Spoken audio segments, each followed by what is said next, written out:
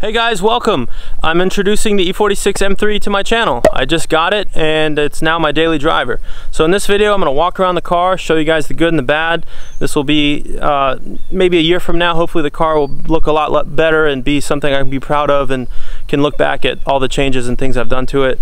Uh, don't worry, the walk around is not gonna have my face in it. I'm sure you guys don't wanna see my fat face much longer. And then we're gonna go for a drive and I'll just quickly explain my thoughts on the car, what it's been like having it the past couple days, and uh, just what it's like coming from an E60 M5 and an E92 M3. And yes, I still have the M5. Once I get this car kind of squared away here soon, more videos of the M5 to come, of course. So let's go check it out.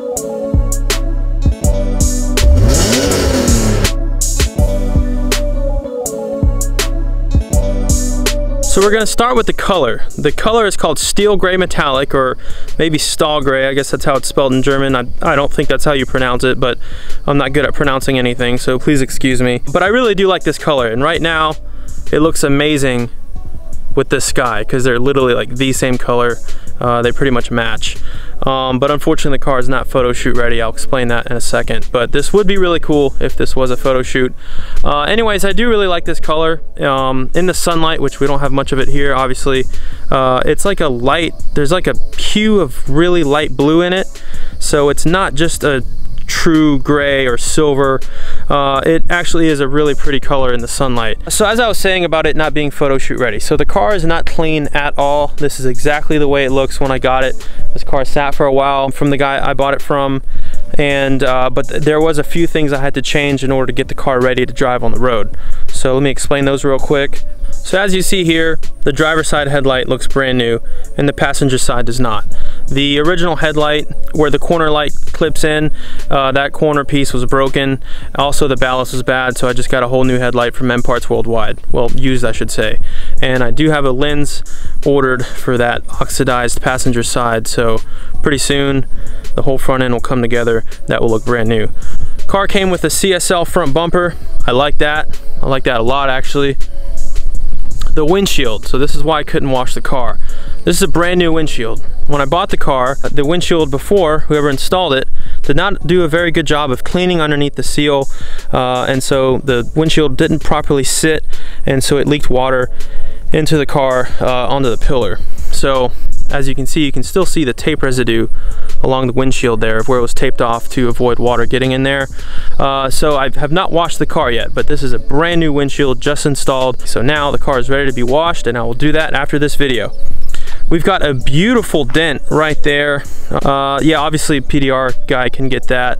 Uh, suspension wise, we're stock. No, that's not stock. Those are actually Eibach springs. I found that out after installing the S-Tech springs. Shout out to my boy John for giving me the deal on those. What the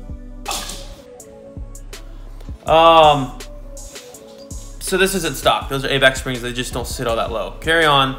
It looks pretty bad. It's like almost lifted looking. Some wheel spacers and some lowering springs will do this car wonders, which speaking of which, I actually do have some lowering springs in the trunk. Uh, the car also has uh, Turner rear camber arms. And these wheels are obviously the OEM 19 inch wheels, but they are painted black. No, the car did not come with this. The car did have tint. It was kind of bubbly in some areas, so I started to remove it, uh, and that was before I realized just how big of a pain it is to remove tint, and uh, I have since been too lazy to remove it. The exhaust, I did change up the exhaust. This here is a brand new $650 muffler off of eBay. However, I got it for $200. Shout out to my boy Daniel who found me the deal. Uh, this car came with a Valvetronic Filthy Habits muffler um, when I bought it, which looked beautiful. The craftsmanship, the welds, everything about that muffler was great. However, the Valvetronic valves, you know, open and close from a remote, and the batteries in the remote were dead, and they had to be soldered in, which I just didn't want to fool with. Uh, regardless, it was just way too loud, and because this car does have eBay catless headers, and so paired with that, the rasp was just unimaginable, and the drone was, I just couldn't handle it. And this muffler ended up fixing all that. The car sounds pretty good. Uh, actually, speaking of that, I posted this car the other day without actually explaining that this was mine. If you guys want to hear how this setup sounds with no one talking, just pure M3 sounds, go check it out. It's in the description. And uh, it's actually a, a pretty good sounding setup for being eBay. The tips don't look too bad either. They're three inch tips. They do need to be adjusted. However, I think I will get some bigger tips here eventually. Uh, let's talk about this CSL stick-on spoiler. Now from the side, oh, there's a lovely gas cap that won't close. That should be an easy fix. The CSL stick-on spoiler looks great from the side. On the side profile really helps this car, looks really good. However, up close, you can see this is exposed carbon, which looks cool right here, but the rest of it obviously needs a really good detail job. It's very oxidized and will need a good buff and uh, some clear coat.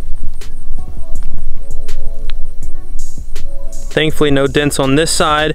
However, all four corners, all these fenders are gonna need some work and some new paint because whoever owned it last did have it slammed uh, and obviously rubbed up against the fenders. Here you can really see what I was talking about the color and just how light it is in the sunlight. And as I showed you before, we have zero sun out right now. It's very cloudy, so just imagine what I'm saying. This car in the sun does look good. And now we're back to the front and here you will see the smoked corner lights. I didn't mention that earlier, but that, does, that did come with the car and I think I am gonna swap back to the clear OEM ones. I think that will just make the front end look a little bit cleaner. Now, before I quickly show you guys the interior, as far as tint, there's 5% on the back uh, and the front has nothing. So I'm debating removing it and maybe doing 20% just to give it like a smoked look instead of like this pitch black murdered outlook, uh, or just leaving it and not tinting it at all. So the interior, this car has 168,000 miles and remember I have not washed it, I have not conditioned the leather, I haven't vacuumed it, haven't cleaned it. So I think it actually looks pretty good for it not being clean. Uh, just your typical E46 interior that has aged pretty well in my opinion. Of course it's going to need a new shift knob and a new steering wheel as the steering wheel has started to peel and just doesn't feel really good in my hands. But I'll tell you what does feel really good in my hands is this Evolution basketball. For those of you that ball, Curry sets, fires, puts it up, bang! that basketball is worth the money. It's a really good ball. So, that's the interior. How about we go for a drive, right? Let's go.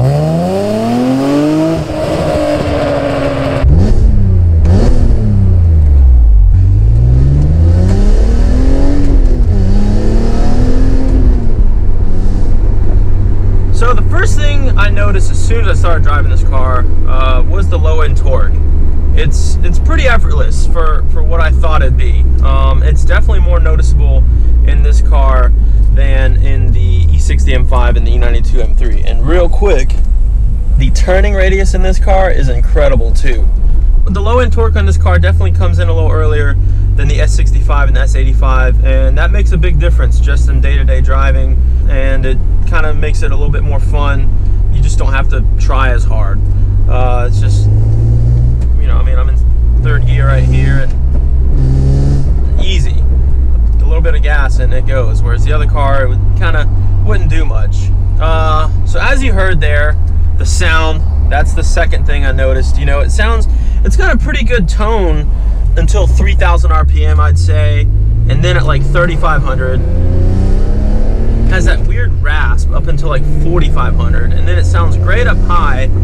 Uh, but that middle part, just you know, that beehive, raspy, ricey sounding sound, uh, kind of ruins it for me. I'm, I'm, a little bit embarrassed to drive this car sometimes if I'm at a red light and I'm lined up next to like a, a nicer car. I don't want to give it too much gas because I know at like 3,500 RPM it's going to make that loud, raspy sound, which that's just the way it is about this engine, the S54. And so, you know, I knew what I was getting myself into. So I will be experimenting with some rasp eliminators pretty soon and just try and tone that down a bit. Now the next thing I noticed, oh sweet, welcome to the BMW life. The uh, traction control light and the tire pressure light just turned on. There's a good sign of how this ownership's gonna be as I was saying, uh, the third thing I immediately noticed upon taking a corner was how well this thing handles. Uh, the steering is extremely direct, very responsive. Um, of course, I couldn't have picked a better road for this. Uh, my rear shocks are blown, so they're going to make some noise back there, and it's going to sound really loud. And the, I mean, zero body roll. This thing really, really does handle like it's on rails. Um, ironically, we're coming up to train tracks up here, so Um, no pun, but it really does handle like it's on rails, and it's amazing. I cannot wait to take this thing into the mountains because I can. You can just tell this thing wants to go around some corners, and it wants to do it fast. And I can't wait for, to do that. The M5, obviously being a completely different purpose-built car, uh, the steering is, is, is, obviously more loose. Um, the weight of the car, you really feel that in the corners.